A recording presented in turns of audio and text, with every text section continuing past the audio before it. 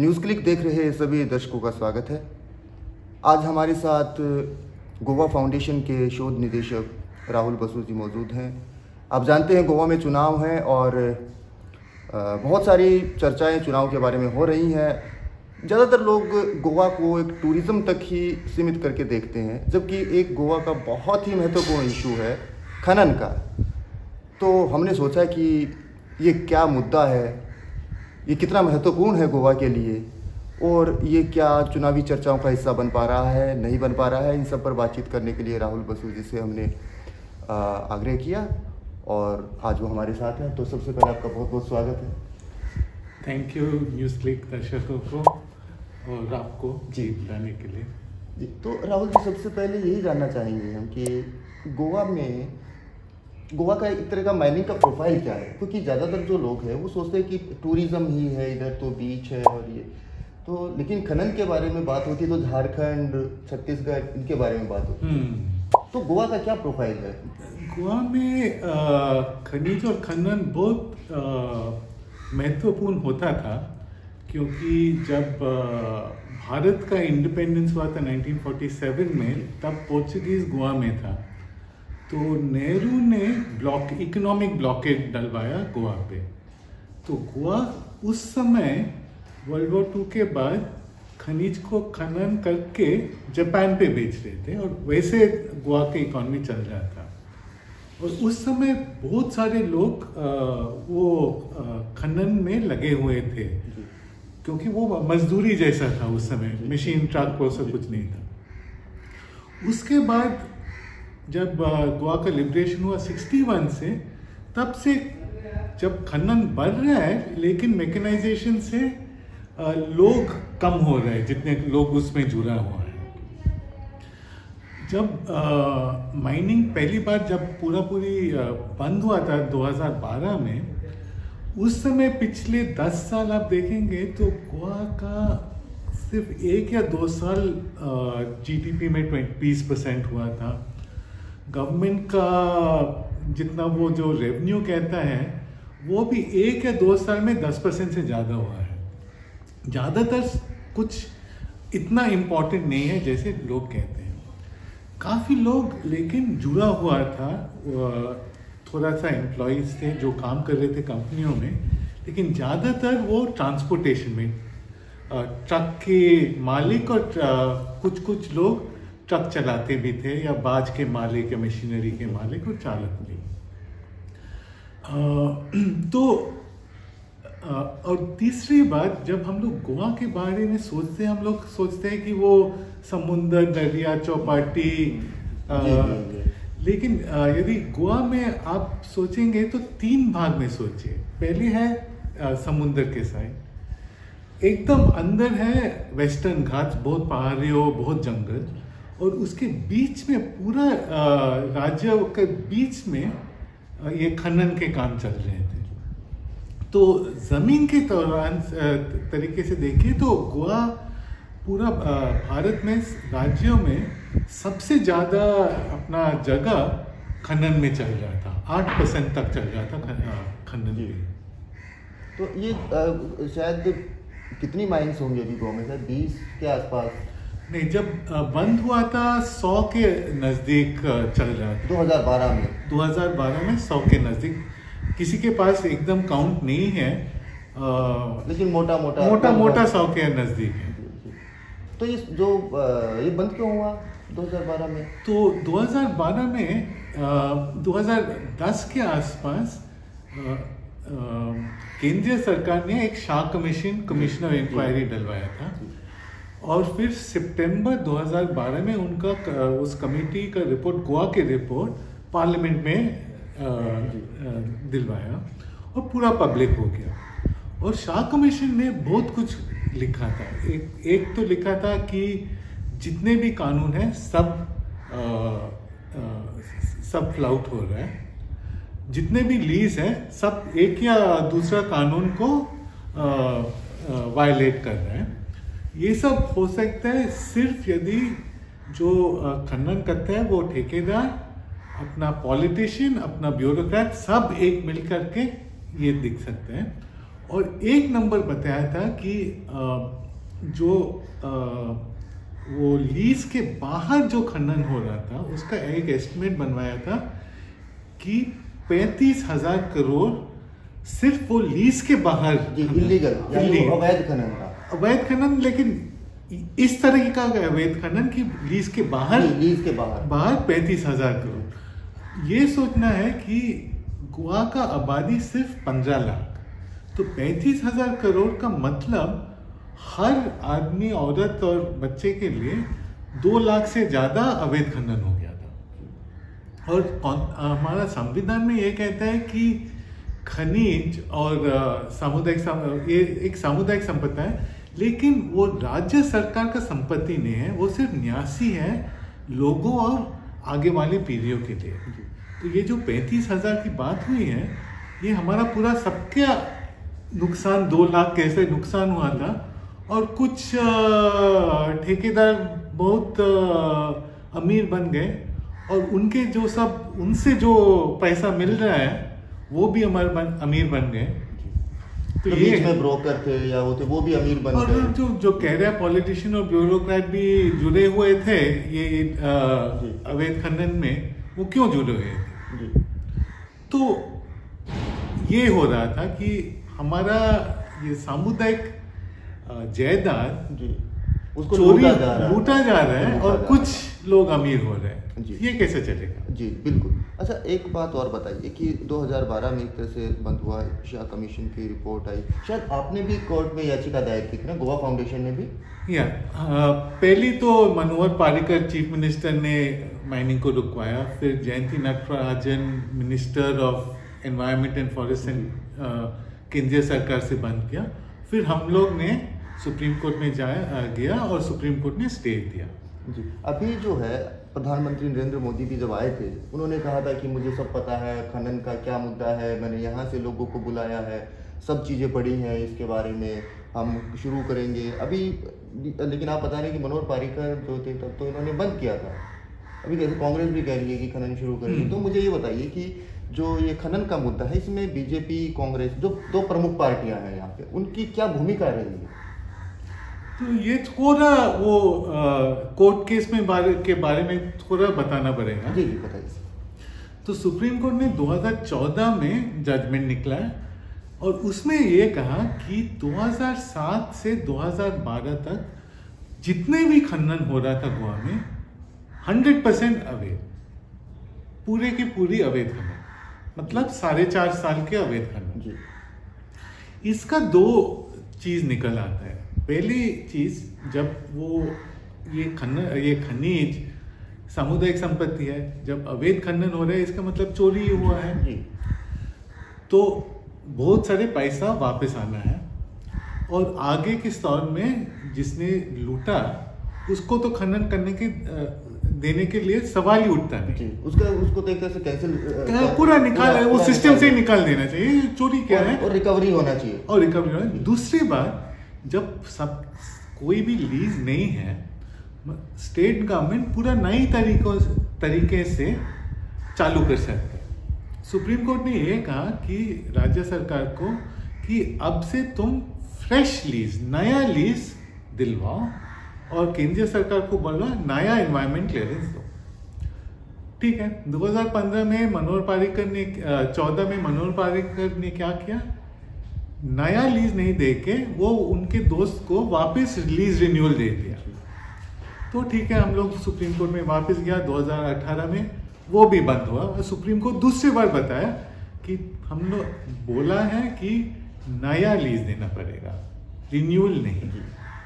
अभी कानून में नया लीज कैसे दे सकते हैं? दो उपाय हैं। एक गवर्नमेंट कॉर्पोरेशन गवर्नमेंट कंपनी को दे दो। या तुम ऑप्शन करो। गवर्नमेंट कंपनी को देते हैं तो अपने दोस्त को नहीं दे सकते लीज ऑक्शन करेगा तो कोई भी तो बिड कर सकते हैं। तो इससे क्या हो सकता है? इससे आप बता रहे हैं जी जो मनोहर पारिकर की सरकार की बीजेपी की तो उन्होंने रिन्यू किया तो उसका ऑप्शन नहीं हुआ। ऑप्शन नहीं हुआ। और उसका सुप्रीम कोर्ट ने कैंसिल कर दिया क्योंकि कहा था कि नया लीज दो रिन्यूअल उनको ही जिसका जिसने अवैध खनन किया था उसको उसी नहीं दे सकते कर रहे हैं। हाँ उसी का रिन्यू कर सकते नहीं कर सकते अभी एक पॉलिटिकली में ये सोचिए कि 2007 से 2012 कांग्रेस राज्य सरकार में जी। मिनिस्ट्री बना। जी। तो उनके साथ पूरा अवैध खनन हुआ था। हम लोग ने 2014 वो जजमेंट के बाद ही लिखा था कि तुम ऐसा करके नया करके सिस्टम बनवाओ। और ये भी मालूम पड़ा कि यदि हम लीगल सिस्टम में देखेंगे यदि खनन अब यदि हमारा धन सोचते हैं तो हमारा धन का वैल्यू क्या है? हम जितने पे बेच सकते हैं लेकिन वो जो ठेकेदार वो खनिज को निकालेगा उसको तो पैसा देना है उसको भी लाभ होना है। उसके बाद जो बा, बाकी पैसा है वो तो उसका वैल्यू हो गया। जी। स्टेट गवर्नमेंट को कितना मिल रहा है? हमने कैलकुलेशन किया। आठ साल में 2004 से 2012 अट्ठासी हज़ार करोड़ का खनिज निकाला गया। उसमें पूरा पैसा जो लगाया हुआ जितना भी एक्सपेंस और प्रॉफिट छत्तीस हज़ार मतलब खनन का मूल्य हमारे तरफ़ से बावन हज़ार करोड़ है। उस आठ साल में राज्य सरकार को सिर्फ़ 2,400 करोड़ मिला। उससे भी कम मतलब सौ रुपया का माल वो बावन हज़ार? पाँच रुपया भी नहीं मिल रहा है। अभी उसी सिस्टम में मनोहर पारेकर ने रिन्यू किया। हमारा कैलकुलेशन है कि वो जो अवैध खनन के लिए वो जो रिकवरी है वो भी नहीं मिला और फिर वो रिन्यू भी कर दिया। रिन्यू भी कर दिया। उसमें नुकसान हो गया एक हज़ार one forty four thousand crore. एक एक लाख चवालीस हज़ार करोड़ का नुकसान। और ये सारा का सारा यहाँ के का खनिज है जो सीधा लोगों के खनिज की लोगों के संसाधनों की ही लूट है। तो सीधा नुकसान यहाँ के लोगों को लोगों को नुकसान। और तीसरी बात ये कहना है कि जब 2014 जजमेंट और रिन्यूअल के पहले 40 एमएलए पूरे के पूरे सब एमएलए ने स्टेट लेजिस्लेटिव असेंबली में रेजोल्यूशन पास किया कि रिन्यूअल किया जाए। जी।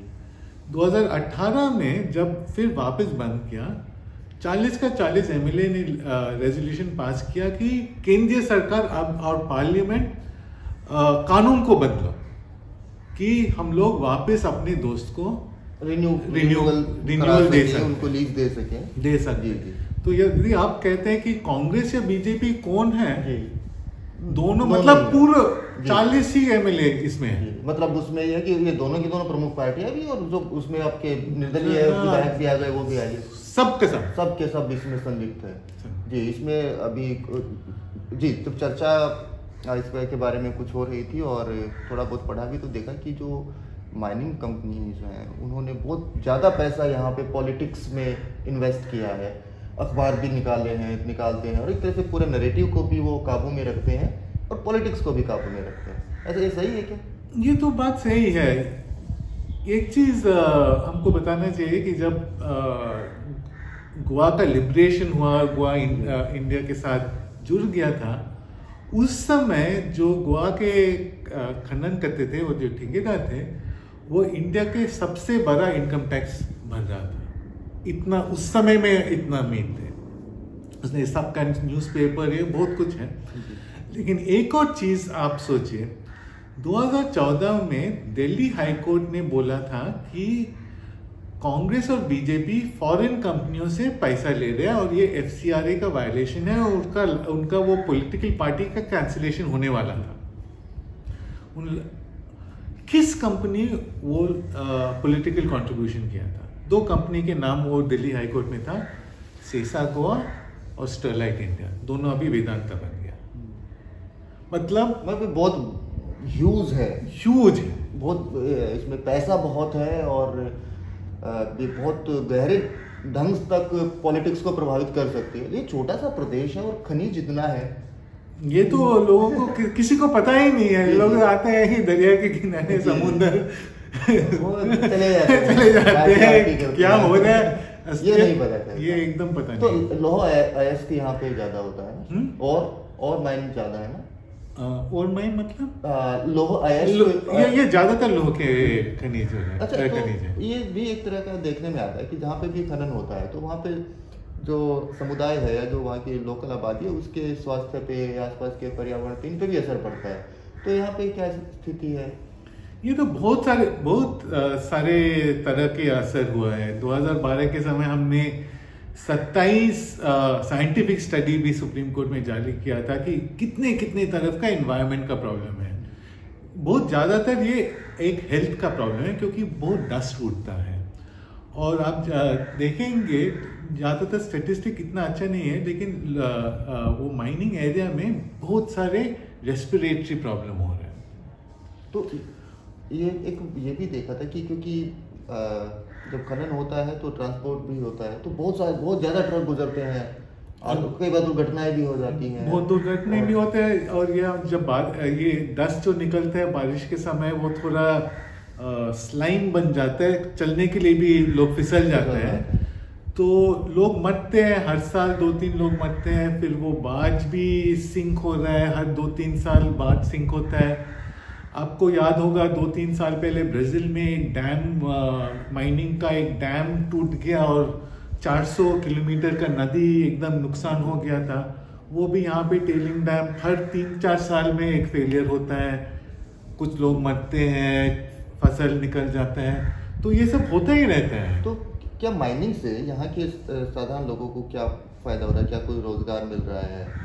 या कोई और माइनिंग से जुड़े कोई साधन वो कर पा रहे हैं? तो माइनिंग में क्या ये जब गाँव में होता है तो काफ़ी लोग इसके खिलाफ में हो जाते हैं। तो माइनिंग लोग क्या करते हैं? वो जाते हैं और उनका लोकल लीडर के पास जाते हैं और कहते हैं, आप एक ट्रक खरीद लीजिए। यदि ट्रक आपको चलाने के लिए पर टन किलोमीटर के हिसाब से तीन रुपया लगता है, हम आपको ग्यारह रुपया दे देंगे। ग्यारह रुपया क्यों क्यों दे रहे हैं? तीन रुपया पे चला सकता है। ग्यारह रुपया इसलिए दे रहे हैं कि उसके लिए वो एक तरीका का ब्राइब हो रहा है। हाँ तो क्या होता है वो पूरा लोकल कम्युनिटी जो खिलाफ होता है आधा माइनिंग कंपनी के साथ डिपेंडेंट हो जाता है और उस उसके पानी उसका नमक खा रहा है।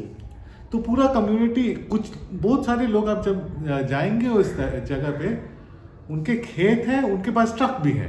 हम्म। वो एक तरफ़ से बुक रहा है और एक तरह से पैसा मिल रहा है तो लेकिन मतलब स्थानीय लोगों के पास ज़्यादातर ट्रक ही है। खा, खान में तो काम नहीं करते होंगे ना? कुछ कुछ लोग खान में काम करते हैं लेकिन ज़्यादातर लोग जो माइनिंग में गोवा में सिर्फ़ आठ महीने में चलता था क्योंकि बारिश के समय इतना पानी वो माइनिंग पे भर ही जाता है कुछ हो नहीं सकता।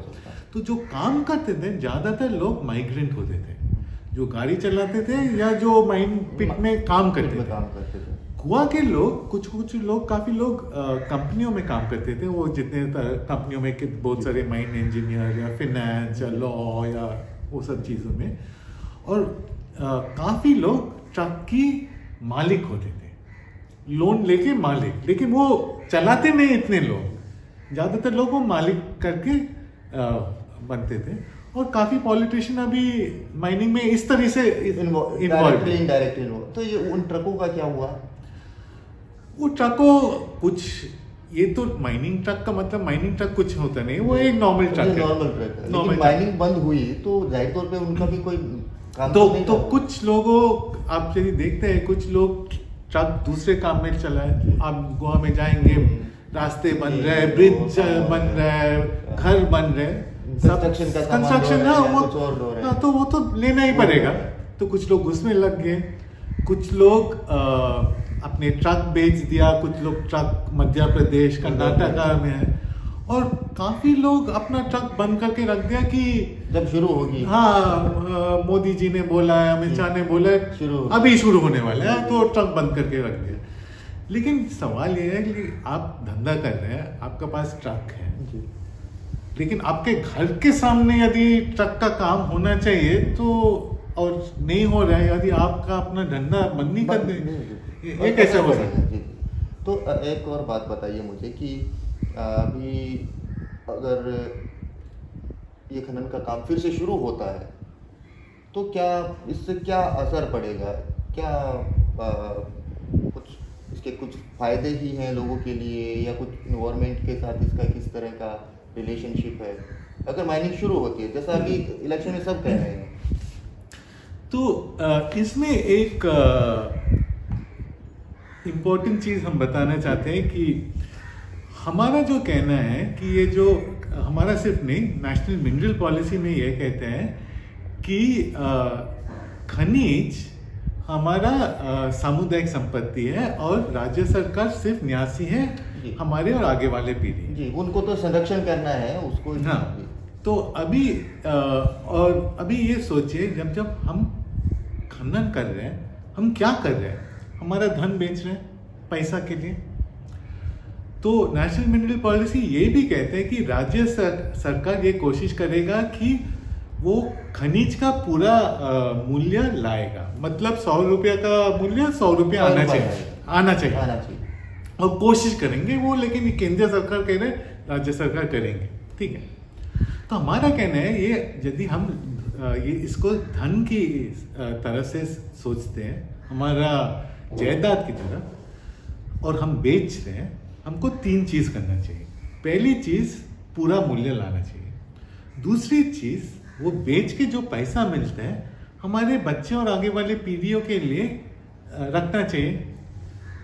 हम लोग ज़्यादातर घर में जो करते हैं कुछ सोने खरीदते हैं या कुछ ज़मीन खरीदते हैं, लेकिन इतना पैसा है तो हम इतना ज़मीन खरीद नहीं सकते। तो हमारा कहना था कि तुम राज्य सरकार एक बड़ा म्यूचुअल फंड बनवाओ। हमारे लोगों के लिए और आगे वाले पीढ़ियों के लिए। और तीसरी बात वो जो खनिज था वो हमारा ही था। उसके बेच के हम लोग फंड बनवाया वो तो हमारा ही है। और उसका जो लाभ है हमारा ही है। तो वो लाभ को सब जितने भी लोग हैं आबादी है गोवा में सबको डिविडेंड जैसे बांटो जी। यानी जि, जितने भी जो गोवा के लोग हैं वो उनकी भी संपदा है और हाँ, उनको भी वो हिस्सा मिलना चाहिए। हिस्सा मिलना चाहिए और सिर्फ़ नहीं क्योंकि हमको अभी मिलेगा वो जो फंड है वो एंडाउमेंट फंड है हमारे बच्चे को भी मिलेगा और उनको बच्चे उनको भी मिलेगा और उन सबको ये डिविडेंड चलते रहेंगे। जी। तो इसको शायद मोटा मोटी तौर पे से कह सकते हैं कि हमारी ये जो संपदा है इसको ऐसे नष्ट नहीं करना चाहिए। ये हमारी ज़िम्मेदारी बनती कि आने वाली पीढ़ी को भी इसको सुपुर्द करें। एकदम। और तो, पूरा वैल्यू जी जी थोड़ा हम खाने हाँ। यदि हम थोड़ा खाते हैं और हर पीढ़ी थोड़ा खाते हैं तो कुछ नहीं रहेगा। और हम लोग वैल्यू हम लोग सपोर्ट करें। एकदम पूरा वैल्यू तो ये पहली चीज़ बात। है दूसरी बात हमारा वो इन्वायरमेंट में बहुत नुकसान हुआ था और हेल्थ पे और ये सब। तो हमारा कहना है कि जब 50 मिलियन टन पे चल रहा था बहुत प्रॉब्लम हुआ था। सुप्रीम कोर्ट ने 20 मिलियन टन का कैप लगवाया। 2016-17 में उस पर वो रिन्यूअल पे चला था और उस समय भी बहुत डस्ट पोल्यूशन एक सोनशी गाँव के हाँ, बारे में पढ़ा हुआ हुआ हुए होंगे। Suo motu case high court child rights court schedule tribes commission सबने लगवाया था। तो हमने कहा 20 मिलियन टन पे भी नहीं चल सकते। आप पाँच या दस मिलियन टन पे चल लेकिन इसमें प्रॉब्लम क्या है? प्रॉब्लम तो है नहीं, हमारा खनिज तो है ही। जब हम निकालेंगे, उस समय काम होगा। लेकिन आप कह आप सोचेंगे कि 50 मिलियन टन के लोगों के ज़िंदगी जुड़े हुए हैं। आप कह रहे हैं पाँच मिलियन टन, बाकी लोग क्या करेंगे? तो हमारा तीसरी बात है कि साठ साल से जो खनन हो रहा था, बहुत नुकसान हुआ था। कुछ कुछ खनन वाइल्ड लाइफ साइंसरी में चल रहा था, उसको बंद किया गया। वो जो खन खनिज के ऊपर जो माल होता था ओवरबर्डन वो छोटा छोटा पहाड़ बन गया पूरा गोवा में। वो भी एक प्रॉब्लम हुआ। है वेस्ट डंप है। तो हमारा कहना है कि वो वेस्ट डंप तुम लेके जो आ, आ, खान कभी खुलेगा नहीं उसमें डाल दो और हाँ तो वो एक प्रॉब्लम निकल गया। ये डम का भी प्रॉब्लम निकल गया। फिर दूसरी बात जो डंप होते थे, वहाँ से माल खेतों में जाते हैं और उससे बाद नदी में जा रहे हैं। तो वो सब भी निकालो। उसमें ट्रक का इस्तेमाल होगा, वो जेसीबी का इस्तेमाल होगा, नदियों में बाज का इस्तेमाल होगा। तो ऐसे करके काम नहीं होगा। और गोवा का, वो एनवायरनमेंट को आप ठीक भी कर रहे हैं। तो दोनों एक साथ हो सकते हैं। जी इसी पे मेरा अगला सवाल था। एक तो जैसे जो वेस्ट डंप है इसकी क्या स्थिति है? और दूसरा जो वेस्टर्न घाट है तो ये तो एक तरह से हॉटस्पॉट है बायोडाइवर्सिटी का। तो क्या उस पर कोई असर पड़ पड़ रहा है इसका? एकदम असर पड़ रहा है। आ, हमारा हम लोग जब सुप्रीम कोर्ट में गया था हम लोग कहा था कि वेस्टर्न घाट के हॉटस्पॉट में होना नहीं चाहिए माइनिंग लेकिन गोवा गवर्नमेंट ने कहा कि इतने लोग माइनिंग से जुड़ रहे हैं तो हम लोग क्या करेंगे? तो सुप्रीम कोर्ट ने कहा तो ठीक है छोटे ढंग से शुरू कर सकते हैं शुरू कर तौर पे। छोटे तौर पे क्योंकि हम पूरी तरह से बंद नहीं कर सकते। लेकिन आप यदि देखते हैं यदि हम बंद करते हैं कि क्या है? अपने बच्चे को तो जितने हमको मिलना था जयदाद में उनको उतना ही मिलेगा। वो काम भी कहीं पे गया नहीं क्योंकि जब निकाले जब वो हम लोग खनिज निकालेंगे यदि हम अंडरग्राउंड माइनिंग करेंगे तो जितना काम है उतना काम तो है ही। अपने बच्चे को वो काम भी मिलेगा जायदाद जैसे। तो कोई नुकसान नहीं हो सकता है इससे। लेकिन अब के तौर पे सबको तो चलाना है क्योंकि उनको तो सिस्टम वापस वही पुराना सिस्टम चाहिए पुराना सिस्टम चाहिए तो हम लोग कह रहे थे ठीक है लेकिन इस तरह से करो क्योंकि हम हमारा कुछ जिम्मेदार है। ये एक रिस्पॉन्सिबल ढंग से ये होना चाहिए। होना चाहिए। ऐसा नहीं कि खनन बंद कर दो खनन कर सकते हैं बट एक ज़िम्मेदारी पूर्ण ढंग से कर सकते हैं जिसमें बायोडाइवर्सिटी का भी ध्यान रखें पर्यावरण का भी ध्यान रखें अपनी संपदा का भी ध्यान रखें और यहाँ के जो स्थानीय लोगों के जो हित जुड़े हुए हैं चाहे रोज़गार है चाहे अन्य चीज़ें हैं उसका भी उसको भी उसको, उसको भी सोच के सोच के किया जाए तो मोटे मोटे तौर पे ये देखने को मिलता है कि जैसा कि मैं समझ पाया आपसे बात करके कि जो भी यहाँ की सरकारें रही हैं तो वो एक तरह से अपने कुछ निजी स्वार्थ कहें या करप्शन कहें उससे ज़्यादा ड्रीवन है माइनिंग को लेके। बजाय इसके कि इसको किस तरह से संरक्षण करें पर्यावरण कैसे ठीक रहे लोगों को कैसे रोज़गार मिले क्या इससे नहीं है। इससे एकदम नहीं है। आप सोचिए यदि वो जो अवैध खनन किया है, उनको ही लीज देना है। तो कोई ऐसा सीधे बात नहीं कह सकते। तो आप क्या कह रहे हैं? कि बहुत आबादी माइनिंग से जुड़ रहे हैं, उनको काम नहीं हो सकता। तो माइनिंग चालू करना है। हमारा कहना है, और हम लोग ने वो 2014 के जजमेंट के चार हफ़्ते में स्टेट गवर्नमेंट को राज्य सरकार को लिखा था कि तुम ऐसा शुरू कर सकते हैं। यदि ये राज्य सरकार ये अपना पर्यावरण को ठीक करवाने के लिए वो काम शुरू कर देते हैं और वो रिजेक्ट डम को माइनिंग पिट भरवाते हैं तो वो लोग कह नहीं सकते कि काम नहीं है। हम्म। तो एकदम हाथ पे बैठे हैं। जी हाथ पे हाथ रख के बैठे हैं। हाँ। वो अभी तो काम हो नहीं सकते जब तक खनन जब तक खनन हाँ तो और लेकिन अभी इलेक्शन है तो अभी बहुत अभी सब लोग बोल रहे हैं। ये तो आप इलेक्शन के बाहर भी आएँगे तो हर दो तीन दिन में माइनिंग के बारे में कोई ना कोई, कोई ना कोई लिखा जाता है कहते हैं। क्योंकि ये पूरा एक पूरा करप्शन का सिस्टम है। साठ साल से ज़्यादा चल रहा है। हम लोग रोक रोकने की कोशिश कर रहे हैं। लेकिन एक एक तरफ़ बहुत सारे लोग हैं और एक तरफ़ बहुत सारे पैसे हैं। तो इसमें हम ये कह सकते हैं कि जो गोवा की राजनीति है उसको माइनिंग जो है वो बहुत तगड़े ढंग से उसको प्रभावित करती है उसको कंट्रोल भी करती है और शायद उसको आ, उसको थोड़ा काबू में भी रखती है। हाँ एकदम। हम थोड़ा दो तीन नंबर हम आपको थोड़ा बताना चाहता हूँ। हमने बोला था कि वो बावन हज़ार करोड़ में दो हज़ार करोड़ मतलब पचास हज़ार करोड़ का नुकसान हुआ था। उस आठ साल में गोवा राज्य सरकार का पूरा जो रेवेन्यू सब तरह का टैक्स ये वो सेंटर से जो भी पैसा मिलता है सत्ताईस हज़ार करोड़। मतलब हमारा नुकसान पचास हज़ार करोड़ और सब तरफ़ से जितना भी था सिर्फ़ सत्ताईस हज़ार करोड़। ये एक चीज़ है। वो पचास हज़ार करोड़ में इकतीस हज़ार करोड़ जो ठेकेदार के पास गया था। इक्कीस हज़ार करोड़ गोवा का राज्य सरकार का बजट उस आठ सालों में सत्ताईस हज़ार। हाँ जी बिल्कुल यही कि यहाँ की मुझे तो लगता है जो टोटल बजट है उसका तो कई गुना ज़्यादा है। कई गुना ज़्यादा है। तीसरी बारे में देखिए हम लोग सुप्रीम कोर्ट ने बोला साढ़े चार साल का अवैध खनन हुआ था। अवैध खनन मतलब वो और को खनिज को वापस लाओ या उसका वैल्यू दे दो? या रिकवरी रिकवरी उसका अभी वो खनिज तो चाइना में गया है। तो उसका वैल्यू हमने कैलकुलेट किया पैंसठ हज़ार करोड़ क्योंकि जब कोई चोरी करते हैं उसका खर्चा वो निकाल नहीं सकते तो पूरा वैल्यू आ वो पैंसठ हज़ार करोड़ 2012 में गोवा गवर्नमेंट का बजट था 6000 करोड़। इसका रिकवरी 10 गुण। पैंसठ हज़ार करोड़। पैंसठ हज़ार करोड़। लेकिन तो यहाँ पे रिकवरी हुई अब तक अस्सी करोड़। अस्सी करोड़। अस्सी करोड़ रिकवर हुआ है बस पैंसठ हज़ार करोड़ में से क्योंकि उड़ीसा में और बाकी जगहों उड़ीसा में सत्रह हज़ार करोड़ से ज़्यादा रिकवर हुआ है।